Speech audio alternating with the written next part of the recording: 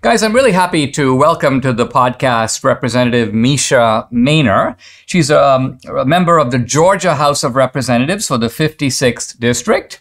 She's a mom of two daughters, a physical therapist. She's currently working on her doctorate in business administration from North Central University. Her website, Mesha, M-E-S-H-A, Mainor, M-A-I-N-O-R dot com. You can also follow her on Twitter at Mesha Mainor.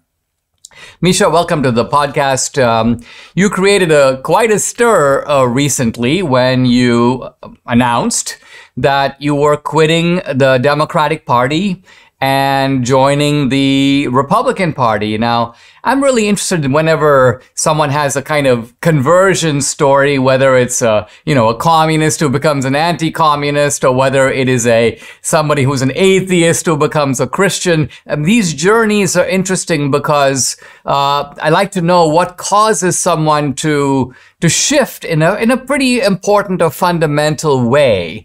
So can you talk a little bit about what, about how, as a, someone who had been in the Democratic Party, I assume that you're from kind of in, lived in a Democratic milieu, maybe you're from a Democratic family. What caused you to sort of make this decision? Thank you for having me. Um, you know what? Really, it was a decision about policy and not necessarily party. There are some fundamental issues that the Democrats are completely against um, that do not benefit my community. The main ones being school choice. Um, in some of the schools in my district, 2% are meeting math proficiency, 3% are meeting reading proficiency. And so to have a, a standard that, you know, we do not um, approve of children having choices, I'm fundamentally against that. The other one was defunding the police crime. I represent the heart of downtown Atlanta. So crime is rampant. It doesn't matter what socioeconomic community you are in. Um, my constituents said they do not want to defund the police. And the third one really is putting people over systems. Um, the best example for that is a prosecutorial oversight bill that we passed this past year. Um, this bill really puts people over the system. And so it's some fundamental policy issues rather than, you know, I want to be a Republican. right, right. Let's let's look at those policy issues. Let's start with the issue of school choice. Now, for a long time, the position of the Democrats was something like this: uh, school choice is an attack on the public school system. Public school systems are underfunded. If you provide more funding, the public schools will fix themselves. That's the solution to get more people into the public schools. But it seems like you've reached a point where you're like, you know what? We've sort of tried that. It's not working. Is, is your view that this, that the public school systems are irreparably, irreparably broken and that therefore parents need to be given alternatives? I think the school system is broken. Um, that does not mean that the teachers are broken. The teachers are beholden to a broken system. The teachers aren't allowed to have the freedom um, to teach the way they were taught in school. And, you know, the school system in America was built on a bell system. That bell system is based on manufacturing during the first industrial revolution. We're past a robotic, um, economy, if you will. We're in artificial intelligence.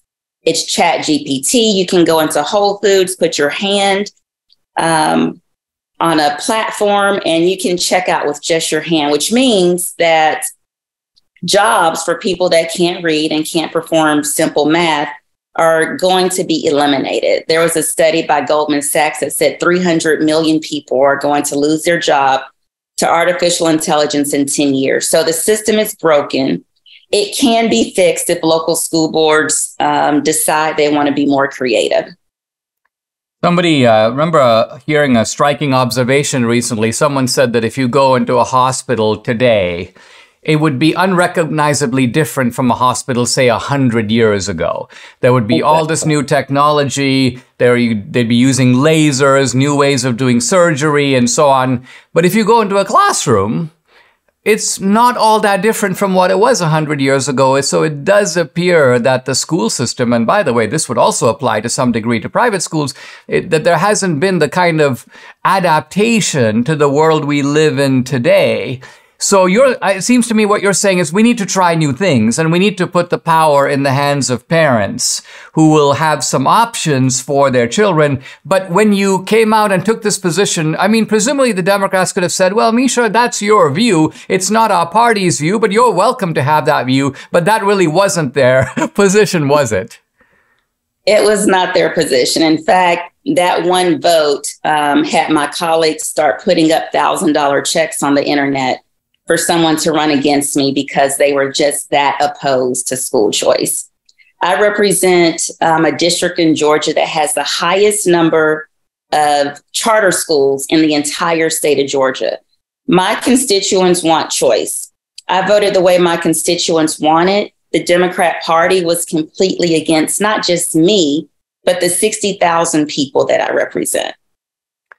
Very interesting. Let's turn to defund the police. Uh, I mean, that is such an extreme idea and yet it's almost came out of nowhere and suddenly became orthodoxy. Do you think that the origin of the idea was just a kind of absurd overreaction to the George Floyd situation? How do we go? Uh, I mean, there was there's talk of police reform for a while, but suddenly this idea of like taking the resources away from the cops. Were you shocked when that suddenly came center stage?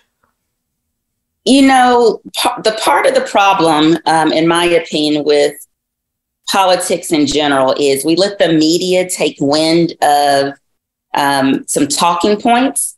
And as politicians, people want to just go with it because that puts them in the spotlight. I was actually campaigning during this defund the police and George Floyd um, activity, and may he rest in peace. But I campaigned on no, we do not need to defund the police. I was never for defunding the police. Um, I'm the victim of stalking. And so I'm intimately um, aware of the need for law enforcement. My suggestion after being elected in um, a committee hearing was we need to increase funding for social services and mental health. We do not need to take away public safety dollars. Um, so that was my stance from the very beginning. And interesting enough, Democrats today are saying, we never said that. We never said we wanted to defund the police, but the records show otherwise.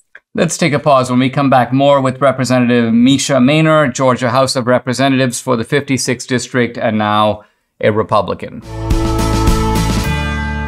Have you heard about the Durban Accords? They're the greatest threat to the US dollar's global dominance in the past 80 years. Now, on August 22nd, Brazil, Russia, India, China, South Africa are expected to announce the launch of a new international supercurrency fully backed by gold or other commodities. Now, this is part of a long term plan to supplant the US and the dollar as cornerstones of the global financial system. How can you protect your IRA or 401k from the fallout from from this landmark announcement? Well, you can diversify with gold from Birch Gold Group. Historically, gold has been a safe haven in times of high uncertainty, which is certainly right now. Get a free information kit on gold IRAs. Decide for yourself if a tax sheltered retirement account backed by physical precious metals is right for you. Text the word Dinesh to 989898. There's a monumental shift happening among nations that control one third of the world's GDP starting August 22nd. So protect your retirement savings, text Dinesh to the number 989898. Claim your free information kit on gold from Birch Gold.